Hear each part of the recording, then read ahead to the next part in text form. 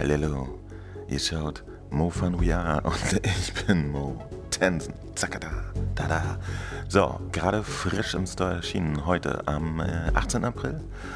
We Are Invaders. Ja? Und für Science-Fiction-Themen bin ich ja immer zu haben. Ich gehe mal auf Normal. Leider sehe ich wie immer im ersten Anlauf nichts. Was äh, mir ermöglicht, die Mucke mal ein bisschen runterzustellen. Aber dann ist das halt so. Ähm, Survival Fire Range, Story Mode. Hm, was machen wir denn da? Also, äh, kurz zur Einstimmung. Ähm, ich stehe hier auf einer Plattform. Das sieht ziemlich gut aus. Ich stelle mich mal hin. So.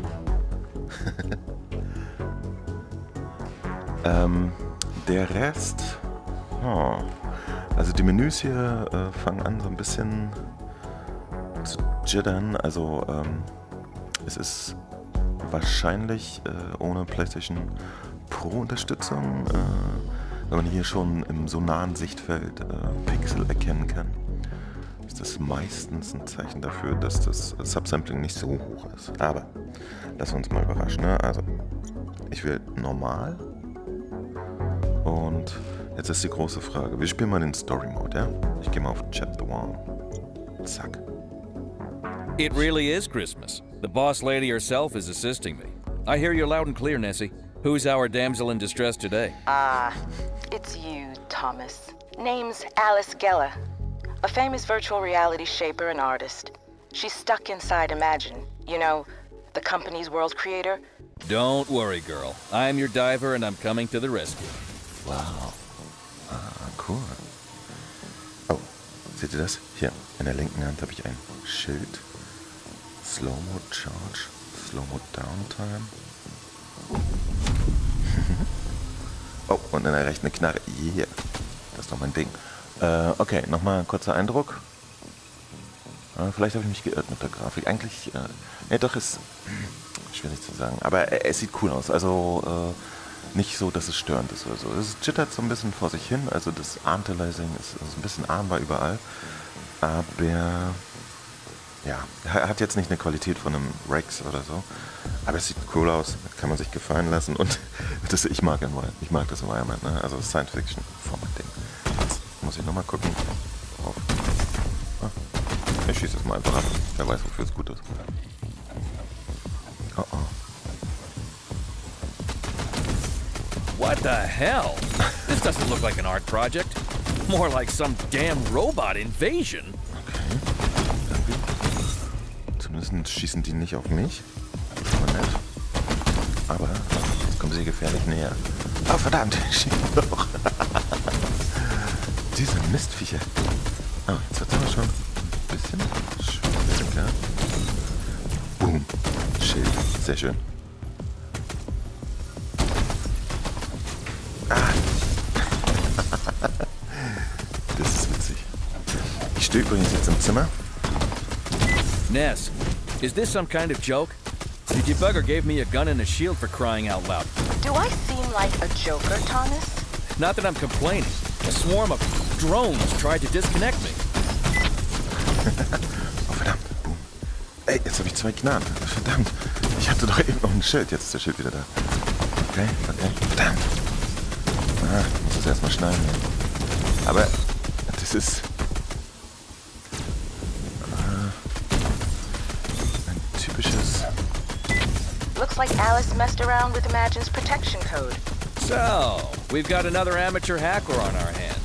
And she's a much-loved celebrity, so we need to be Ganz schön schwierig hier sich zu orientieren. Da sind auch welche mit Schild, die muss ich erstmal ein bisschen down machen. So, okay. Ich kann offensichtlich auch Why can't the kids play with matches during regular business hours and let me have some well-deserved das sleep? Environment ein bisschen zerschießen, das ist lustig. Also Story habt ihr mitbekommen, ich bin wohl irgendein Typ, der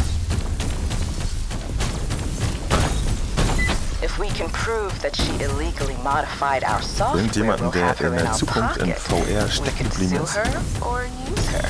Good old Ness. Always looking out for the company. Someone in this rat hole has to plan Das ahead. ist aber echt. Meine Güte. Das mit dem Schild ist aber lustig. Das ist im Prinzip, äh. Danger, Danger. Oh. Die. Oh, Bossgegner. Erstmal mal die kleinen Pferde, ne? Man weiß ja. Der Sound ist, äh. Sehr moderat. Noch. Ich habe ihn aber auch ein bisschen leise gedreht. Ich probiere mal kurz was aus. Nee. Ah, Boss ist nicht schwierig.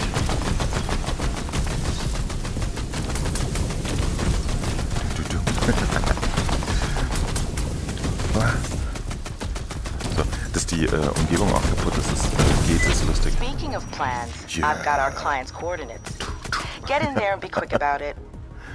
Äh, ich hätte gern die Voices raus, dann würde ich äh, glatt die Sound ein bisschen lauter stellen.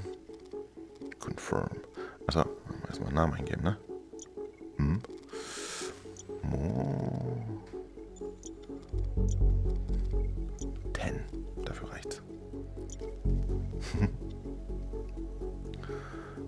So. Ich bin durchgekommen. Geht offensichtlich noch besser. Also ich habe nur einen Stern. Stern bekommen. Next. So, wie ihr das e- eventuell an meinem Frucht-Ninja, äh, Fruit-Ninja, äh, Good. You've made it to our client's bla avatar. bla bla, mitbekommen Get habt. ready for another attack from software security. Ähm, Don't worry, I'll reboot our Golden Girl faster than you can say Thomas Hall is a wonderful diver, and I'm secretly in love with him. Is this all just a game for you, Thomas? The Ice Queen's got no holiday spirit. okay, I can keep it professional. Schande, was ist das denn?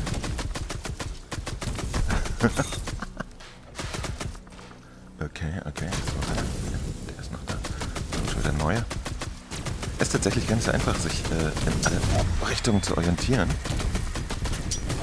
Das ist etwas, was brauchen könnte. Und hier kommt irgendwie alle Jubeljahre so ein Laserstrahl raus. Ich weiß nicht, ob ich den ausweichen muss, wahrscheinlich. Ja. Meine Güte. Also, hat man echt zu tun, muss man mal sagen. So, aber tatsächlich, äh, was ich gerade sagen wollte, Games, äh, bei denen man mehr Roomscale-mäßig in Action ist, sind gerade mein großes Thema, also steht drauf. Und I'm beginning to like shooting sci-fi drones their metal faces. Do you know how much money Wired Industry loses every time you burn out one of your brain damage prevention safeguards? More than my monthly salary, I'll bet. ist das ja aber nichts, äh, wo man jetzt ins Schwitzen kommt, aber man muss schon zusehen. Ich, ich gehe mal ein bisschen beiseite, wenn der Laserstrahl kommt. Wahrscheinlich.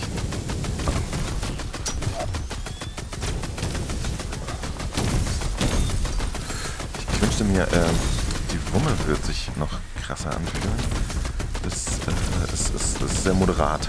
Also, I've been the most senior diver ever since poor Sam got in that coma, but nobody seems to appreciate me. Oh, like you know about being stuck on the career ladder.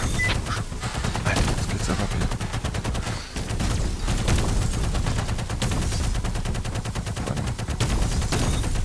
Okay. Und äh, ich merke hier auch leider keinen Rückstoß. Also, heißt das? Äh, Force Feedback im Controller ist leider nicht großartig drin. Das ist schade, das haben sie verpasst, weil ein bisschen haptisches Feedback ist eigentlich nicht so schlecht. You know, Nessie, I think I'll need a raise after we get Ah. our Sleeping Beauty out of here. Fill out a formal Steht an der request, Wand. and we'll consider it. Ah, jetzt haben wir wieder zwei Knarren, aber kein Schutzschild. Weiß gar nicht, I've das warned you a übertreibe. hundred times. Ah.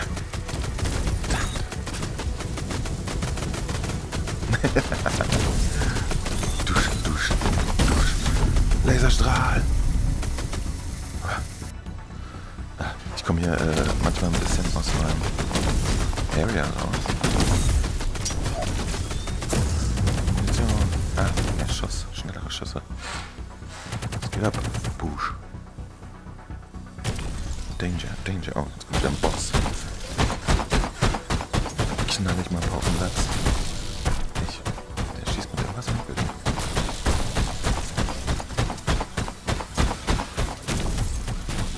Zwischendurch auch da unten die kleinen Viecher abzuknallen. So, oh Gott, oh Gott. Was ist mit meinem Schild? ich glaube, der zerstört mein Schild, der blöde Boss. Okay, ähm, wenn man, wenn man sich ziemlich gut äh, sicher sein, äh, wie der Platz hier im Zimmer ist, dann kann man nämlich den Schüssen, glaube ich, auch ausweichen, wenn man mit dem Körper ausweicht. Ja, irgendwie. Da wird ich bald. Die kleinen Scheiße hole ich auch immer runter. Aber genau, der Boss scheint mir irgendwie mein, mein Schild zu klauen. Nicht so schön. Hey, Boss, auf. So. So. Also bisher habe ich nur zu meckern, dass die Knarre sich ein bisschen äh, cooler anfühlen könnte. Und... All clear. Come on, Ness. Let's pull this girl out of the rabbit hole. Ich bin auch ein bisschen komisch justiert hier. Ihr könnt es nicht sehen. Hier, wo mein linker Controller ist, ist meine Zimmerwand. Ähm, das, das ganze Ding müsste eigentlich mal ein bisschen nach rechts rutschen. Ich versuche mich mal... Ah, okay, okay. Genau. So, jetzt habe ich mich... Jetzt stecke ich allerdings ein bisschen im Boden. Ja. Mal gucken, wo jetzt die Wand ist. So, die ist jetzt hier vorne. Da habe ich genug Space. Nochmal rekalibrieren, alles klar. Ui. Ein Stern. Naja.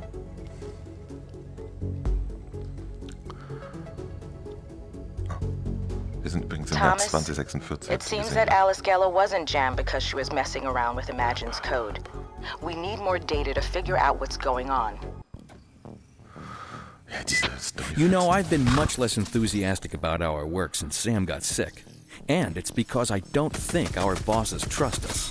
That's no excuse for sloppy work. Anything could have happened to Samuel. Was war das?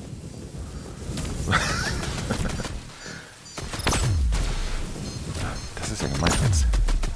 Muss ich hier im Dunkeln kämpfen? Könnt ihr sehen? Ich habe zwar eine, eine Taschenlampe. Geräusche, also die Dinger piepen so ein bisschen, dass ich merke, da ist irgendwas. Was? Kommt schon her. Was, was, was?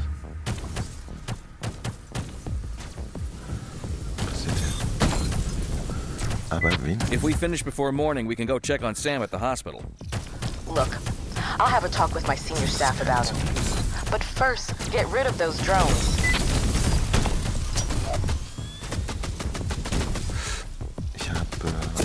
Auf der HTC Vive mal ein Spiel gespielt, das ein bisschen ähnlich ist, wo auch so kleine...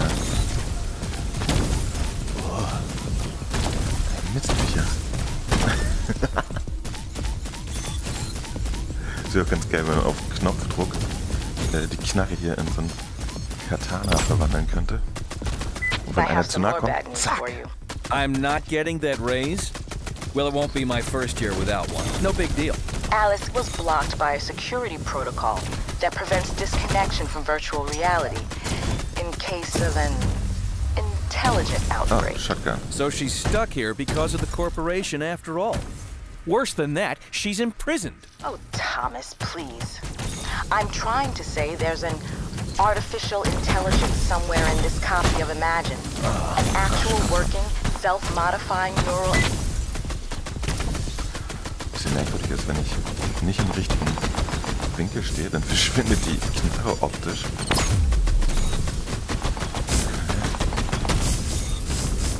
Aber so richtig unlösbar scheint das hier alles nicht zu sein. Moment. Was ich auch noch gar nicht versucht habe, ich habe ja hier angeblich irgendwie Knöpfe für Zeitlupe und so. Alter, das, das stimmt mit dir nicht.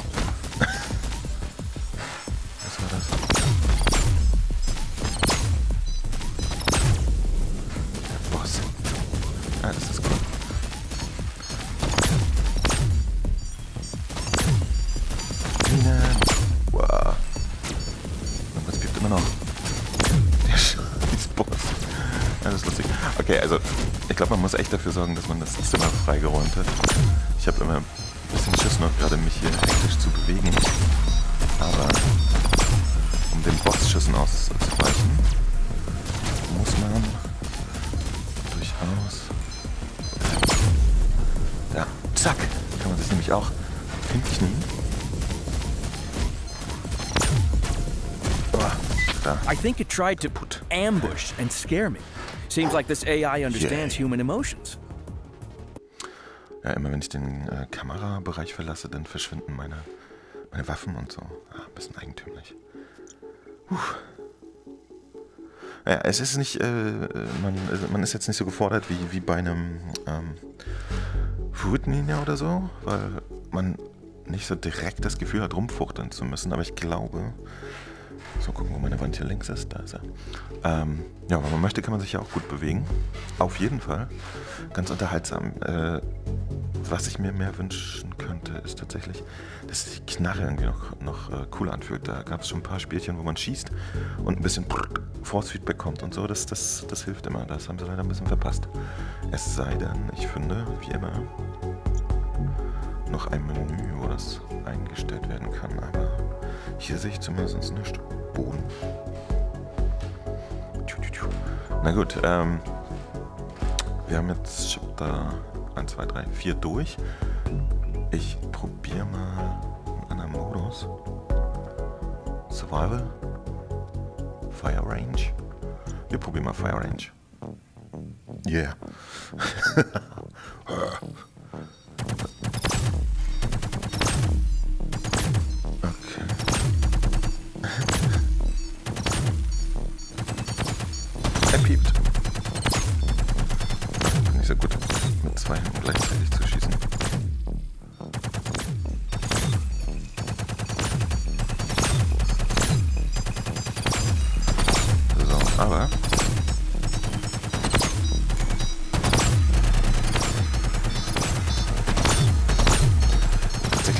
stört es ein bisschen, dass wenn ich die Knarren hochhebe, zu hoch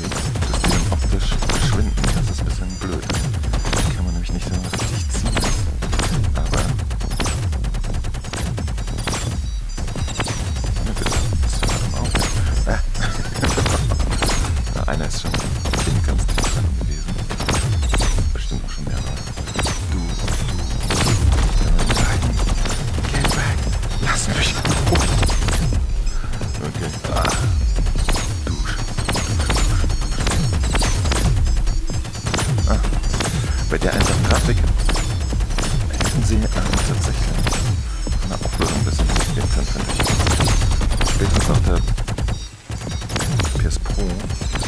Das bedeutet, das Ding hat keine Pro-Unterstützung, definitiv. Also macht dann aber für normale PS4-Verhältnisse einen ordentlichen Eindruck. Zum Glück. Da habe ich schon gurkeligere Sachen gesehen.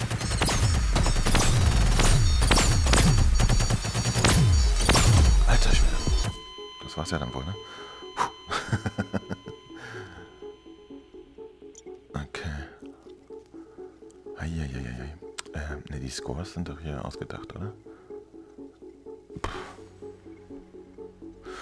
Okay, okay, okay. Ich würde sagen, äh, reicht erstmal für, für heute, für jetzt. Ähm, den Rest, da machen wir dann einen zweiten Teil draus. So. Also, nochmal ein kurzes Fazit. Ähm, ja, ist eigentlich eine ganz coole Aktion. Ob das jetzt die, äh, oh Gott, was hat es gekostet? 16 Euro? 19 Euro? Ich weiß es nicht. Wert ist, muss man entscheiden. Äh, Ist auf jeden Fall jetzt nicht an, äh, an, in der Oberliga von der Gesamtqualität, wirkt aber in sich ganz polished, so, ganz nett. Ja, kann man machen. Ich habe irgendwie gedacht, dass auch äh, die Story noch ein bisschen komplexer erzählt wird, weil ich mir vorher kurz einen Äh, Test durchgelesen habe. Da sprachen sie irgendwie von Intro-Film, den habe ich jetzt nicht mitbekommen. Also, keine Ahnung, ob die PS-VR-Version so ein bisschen äh, gecuttet ist. Auf jeden Fall. Ja, ganz lustig, ne? Also spätestens, wenn man äh, Science-Fiction-affin ist und Bock hat auf so einen einfachen Shooter. Ähm, ich glaube, ich kann hiermit mehr anfangen als mit diesem Pistolen-Shooter. Wie hieß er denn? Fug. Ähm, Lethal VR oder so, ja? mit dem war ich ja immer so, so ein bisschen medium happy. Aber andererseits gibt es ja noch äh, Gear. Nee, Gear VR. Ja? Dieser äh, Comic-Shooter, ähm, Minecraft-Style und der war ein bisschen lustiger, fand ich bisher. Also mal gucken.